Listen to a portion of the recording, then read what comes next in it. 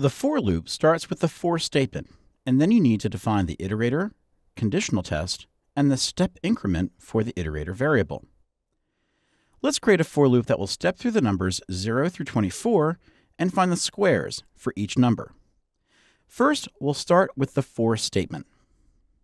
Then we create a set of parentheses. Inside, we first need to create our iterator variable, which is often just called i, and we initially set it to 0. Then we add a semicolon. Next, we take the iterator and we create a conditional test. This test must be true before it will attempt to run through the loop of code. We'll test that i is less than 25. Then add another semicolon. Last, we need to tell the loop how much we want to change the iterator each time the loop runs. We can use the increment operator to increase it by 1 each time the loop runs. Then, we create the loop body using curly braces. Inside the code block, we will create a message for the console log. We will create a string that will provide the current value of i, and then we will calculate what i to the second power is. We can find the square by using a special function that is called using math.pow for power. Inside, we provide the number we want to increase to a certain exponential power. Then we place a comma and enter the power we want to raise the number to, in this case, 2. There are functions that are part of math that you can use, either from algebra or trigonometry. Now save and open in the browser. You will get a number of lines display in Browser Console, based on the for loop that we created. It starts with the number 0, which we initially set the iterator variable to, and it loops through each number until it reaches 25. When it is 25, it renders the conditional test at the top of the for loop false and exits out of the loop.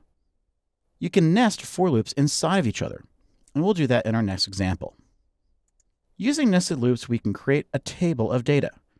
We can build it by creating the columns for a single row, and then repeat that process for each row.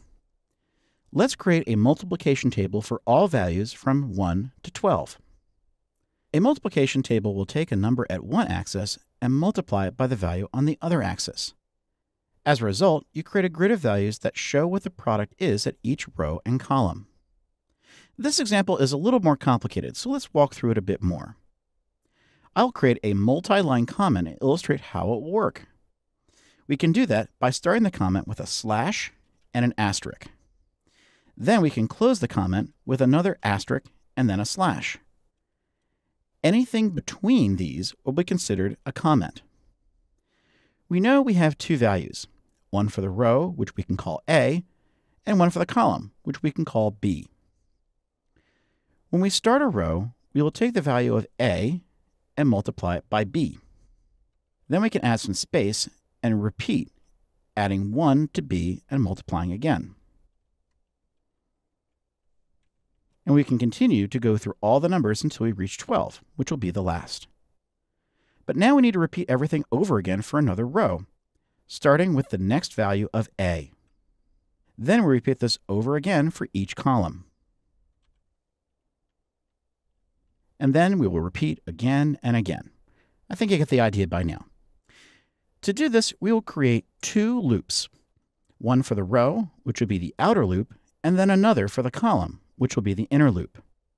We start with a for statement and set it up by defining our iterator, a. And we want to start it off as 1. And we create a conditional test to make sure that it never gets higher than 12. We then want to increment it with each loop. Now we can create our inner loop. We start again with the for statement and set it up with our second iterator variable, b. It's important not to mix up the iterators or to accidentally repeat their use. Doing that might cause some confusion with how your loop runs. Then we want to set the conditional test and the iterator step. Now we have two loops, one nested within the other. Our next step is to put some code inside of these. After we start the first loop, we need to create a variable that will be the string that will contain our row of numbers. var table row and we'll set that equal to an empty string. We do this because we always want to make sure that it is empty every single time the loop repeats. We can do that with the empty quotation marks. Now we need to go inside of our inner loop. We first want to find out what the product is. We calculate that using the multiplication operator, which is an asterisk, and multiply a and b together. We'll create a variable called product and set that equal to a times b. Then we take the value and we want to convert it to a string. But we need to put some space between the columns so they look nice and clean. We can do that with an escape character. We'll create a new variable called product string. And we'll set that equal to the product, convert that to a string, and then we'll concatenate that escape character. An escape character is an invisible character that is typed by the code.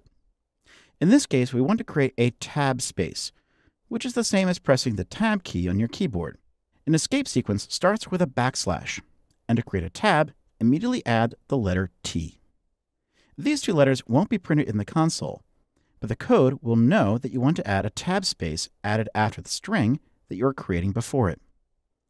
We then want to take that string and concatenate it to the end of the existing table row string.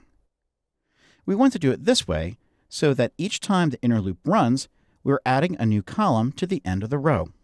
Table row plus equals product string. When all the rows are finished, then the inner loop ends. Now we need to take the completed string of the column and add it to the console log.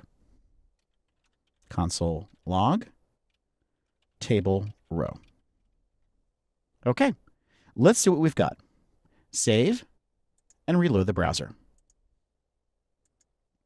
As you can see, we now have a table in our console. If you look carefully at the items on the right-hand side, you'll see that the code on line 24 runs each time, and it runs for a total of 12 times. You'll also notice that each line has 12 columns, just like we wanted to do in our code. Just as a reminder, for loops in JavaScript require a few things. You start with the for statement and then need to provide three sections. Define the iterator variable, create a conditional test, and add a step for the iterator to change with each execution of the loop. You can nest loops inside of each other as well, which is helpful for working with rows and columns of information.